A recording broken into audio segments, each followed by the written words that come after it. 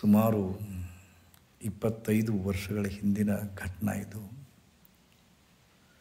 ಗುಡ್ಡಾಪುರ ಹೋಗಿದ್ದೆ ಬಸ್ನಲ್ಲಿ. ಅದು ಮುಂದೆ ಮುಚ್ಚಂಡಿ ಒಳಗೆ ನಮ್ಮ ಒಬ್ಬ ಸಾಧಕರಿದ್ದರು ಅವರು ಗುಡ್ಡಾಪುರಕ್ಕೆ ಹೋಗೋ ಮುಂದೆ ಅಥವಾ ಬರೋ ಮುಂದೆ, ಗುಡ್ಡಾಪುರದಿಂದ ಬರೋ ಮುಂದೆ ನಮ್ಮ ಮನೆಗೆ ಬರಬೇಕ್ರಿ ಅಂತ ಹೇಳಿದರು. ಅಂದ್ರೆ ನಾನು ಗುಡ್ಡಾಪುರದಿಂದ ಬಂದು ಮುತ್ಸಂಟಿಗೆ ಇಳಿದೆ. ಅಲ್ಲಿ ಒಂದು ಸಣ್ಣ ಬಸ್ ಸ್ಟಾಪ್ ಮಾಡಿದ್ರು ಅದನ್ನು, ಅಲ್ಲಿ ಕೂತೆ. ಅಲ್ಲಿ ಕೂತೆ. ಅವಾಗ ಇನ್ನೂ ಕ್ವಾಯಿನ್ ಹಾಕಿ ಮಾತಾಡ್ತಕ್ಕಂಥ ಫೋನ್ ಬಾಕ್ಸ್ ಇದ್ದು ಅವಾಗ ಪಕ್ಕದ ಒಂದು ಅಂಗಡಿ ಒಳಗೆ ಒಂದು ಬಾಕ್ಸಿನಿಂದ ಅವನಿಗೆ ಲ್ಯಾಂಡ್ಲೈನಿಗೆ ಫೋನ್ ಹಚ್ಚಿದೆ. ಅವರ ಹೆಂಡತಿ ಎತ್ತಿದ್ಲು. ಇಲ್ಲೇ ಪಕ್ಕದಲ್ಲಿ ಹೋಗ್ಯಾರ ಬರ್ತಾರೆ ಗುರುಜಿ. ನಾ ಹೇಳಿದ್ದೀನಿ, ನಾ ಹೇಳ್ತೀನಿ. ಮತ್ತು ಅವ್ರು ಬಂದು ನಿಮ್ಮನ್ನು ಇದನ್ನು ಮಾಡ್ತಾರೆ, ಸ್ವಲ್ಪ ಅಲ್ಲೇ ಕೂತಿರ್ರಿ. ಯಾಕಂದರೆ ಇದು ಹಳ್ಳಿಯಾಗೈತೆ ಮನಿ ಅಂತ ಅನ್ಲಕ್ಕಿ ನಾನು ಕಾಯ್ಕೊಂತ ಕುಂತಿದ್ದೆ. ಅಷ್ಟೊತ್ತರಿಗೆ ಜತ್ತದಿಂದ ಒಂದು ಬಸ್ ಬಂತು. ಬಸ್ ಬಂದು ಅಲ್ಲಿಬ್ಬರು ಬಹುಶಃ ತಂದೆ ಮಗಳಿರಬೇಕು. ಆಮೇಲೆ ಅದು ಹೌದು ಅನ್ನೋದು ಗೊತ್ತಾಯಿತು. ಅವ್ರು ಇಳಿದ್ರು ಅವರು. ತಂದೆ ಮಗಳು ಇಳಿದ್ರು. ಬಂದು ನಾನು ಕುಳಿತಂಥ ಬಸ್ ಸ್ಟಾಪ್ನೊಳಗೆ ಅವರು ಕೂತರು. ನಾನು ಮತ್ತು ಅವರಿಬ್ಬರೇ ಇಡೀ ಬಸ್ ಸ್ಟಾಪ್ನಾಗ ನಾನು ಬೇರೆ ಏನೋ ಒಂದು ಬರ್ಕೊತ ಒಂದು ಡೈರಿ ಒಳಗೆ ಬರ್ಕೊತ ಕುಂತಿದ್ದೆ. ಮಗಳು ಅಳ್ಕೊಂತ ಅಪ್ಪಗೆ ಹೇಳ್ತಾ ಇದ್ಲು. ಅಪ್ಪ ಒಂದು ಪ್ರಶ್ನೆ ಹಾಕಿದ. ಅಲ್ಲವಾ ಮಗಳ? ಇನ್ನೂ ಲೇಟ್ ಇತ್ತು ಬಸ್ಸು ಯಾಕೆ ನೀನು ಲಘುನ ಕರ್ಕೊಂಬಂದು ಇಲ್ಲಿ ಬಂದು ಕೂಡುವಂಗಾತಲ್ಲ ಡೈರೆಕ್ಟ್ ಬಸ್ಸಿಗೆ ಹೋಗೋದಿತ್ತಲ್ಲ, ಚಲೋ ಆಕಿತ್ತು ಅಂತ ಅಪ್ಪ ಅಂದ. ಮಗಳು, ಯಪ್ಪ, ನಾ ಜೈಲ್ನಾಗಿಂದ ಹೊರಗೆ ಬಂದಂಗಾತಪ್ಪ ಇದು ಇಲ್ಲೇ ನಾಲ್ಕು ತಾಸು ಕೂಡನು ಬ, ಖರೆ. ಆದರೆ ಈ ಆ ನಾಲ್ಕು ತಾಸು ನನಗೆ ಗಂಡ ಮನ್ಯಾಗ ಕಳೆಯಕ್ಕೆ ಹಾಕಿದ್ದಿಲ್ಲಪ್ಪ ಅದಕ್ಕೆ ಇಲ್ಲಿ ಕರ್ಕೊಂಬಂದು ನಾನು ನಿನಗೆ ಲಘುನ ಅಂದ. ಯಾಕವ್ವ ಅಂಥದ್ದು ಏನಾಗೈತಿ ಅಂತ ತಿಳ್ಕೊಂಡು ಅಪ್ಪ ಆತಂಕದಿಂದ ಕೇಳಿದ.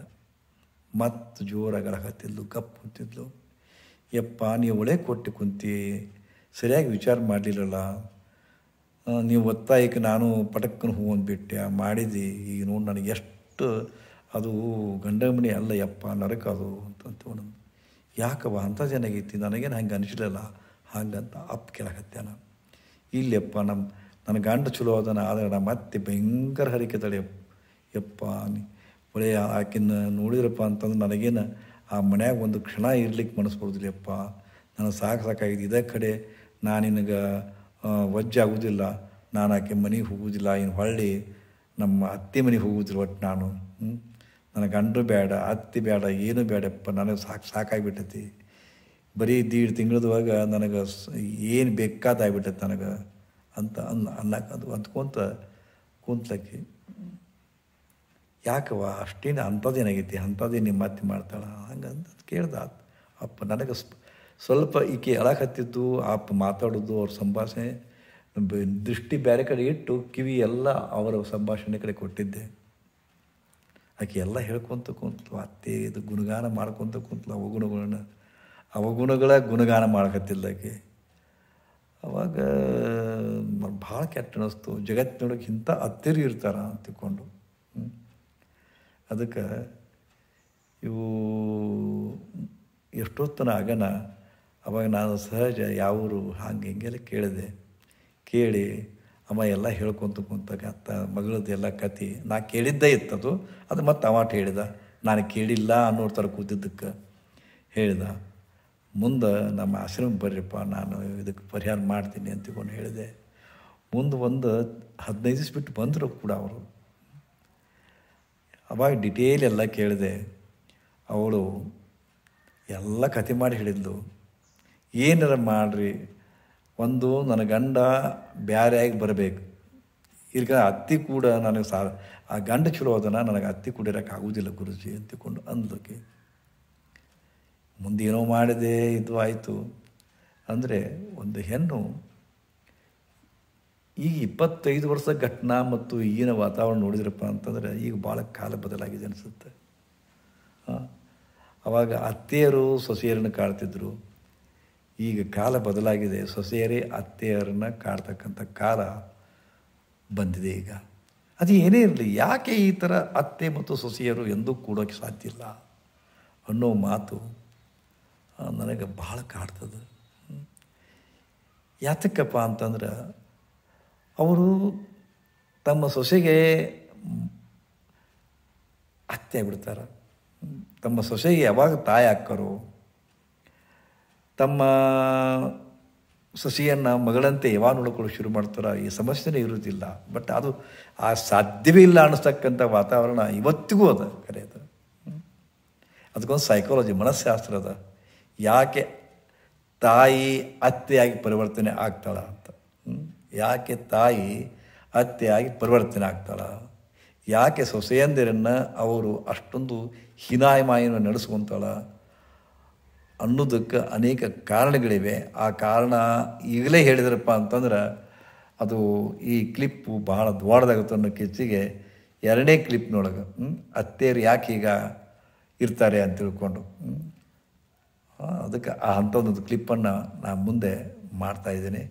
ಸದ್ಯಕ್ಕಂತೂ ಇಷ್ಟು ನೋಡಿ, ಇಷ್ಟು ಕೇಳಿ ಸೊ ದೇವರು ಎಲ್ಲ ಕೊಟ್ಟಾನ ಕರೆ, ಆದ್ರೆ ಹೊಂದಾಣಿಕೆ ಮಾಡ್ಕೊಂಡು ಬದುಕೋದನ್ನು ನಾವು ಮಾಡಬೇಕಾಗಿತ್ತು, ಅದು ಫೇಲ್ ಆಗಿಬಿಟ್ಟಿವಿ ಅಂತ.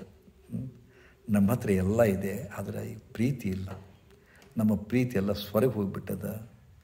ಅಲ್ಲಿ ಪ್ರೀತಿಯ ಜಾಗದೊಳಗೆ ದ್ವೇಷ ತುಂಬೈತೆ, ಅದಕ್ಕೆ ನಮ್ಮ ನಮ್ಮ ಬದುಕು ಹೈರಾಣಾಗ್ಯದ ಅಂದನಕ್ಕಾಗ್ಯದ ಆ್ಯಕ್ಚುಲಿ ಆದ ಕಾರಣ ಈಗಲೂ ಕೂಡ ಅತ್ತೆಯರು ಇದ್ದೀರಿ. ನಾಯಿನಂತೇನೆ ನಿಮ್ಮ ಸೊಸೆಯಂದಿರನ್ನು ಅವರು ನಿಮ್ಮ ಮನೆತನದ ಒಂದು ಕೀರ್ತಿಯನ್ನು ಮತ್ತು ವಂಶಾವಳಿಯನ್ನು ಉತ್ ಇದನ್ನು ಮಾಡಲಿಕ್ಕೆ ಬಂದಂಥ ದೇವತೆ ಅಂತ ಯಾಕೆ ತಿಳ್ಕೊಳ್ಳೋದು ನೀವು? ನಿಮ್ಮ ಮಗನ ಬೇಕು ಬೇಡಗಳನ್ನು, ಅವರ ಅವನ ಸುಖದ ದುಃಖಗಳನ್ನು, ಸುಖದನ್ನು ದುಃಖವನ್ನು ಸಮಭಾಗವಾಗಿ ತೆಗೆದುಕೊಂಡು ಸಹಭಾಗಿನಿಯಾಗಿ ಬಂದಂಥ ಆ ಸೊಸೆಗೆ ಯಾಕೆ ನೀವು ಗೌರವ ಕೊಡ್ತಾ ಇಲ್ಲ, ಪ್ರೀತಿ ಮಾಡ್ತಾ ಇಲ್ಲ? ದಯವಿಟ್ಟು ಹಾಗೆ ಮಾಡಬೇಡಿ. ನಿಮ್ಮ ಮಗಳ, ನಿಮ್ಮ ಮಗಳಿಗೆ ಈತ ಗತಿ ಬಂದದ್ದಾದರೆ ನಿಮ್ಮ ನಿಮ್ಮ ಕಲ್ಲು ಚುರುಕು ಅನ್ನೋದಿಲ್ಲೇನು? ಕಾರಣ, ಸ್ವಲ್ಪ ತಿಳುವಳಿಕೆ ಉಳ್ಳವರಾಗಲಿ.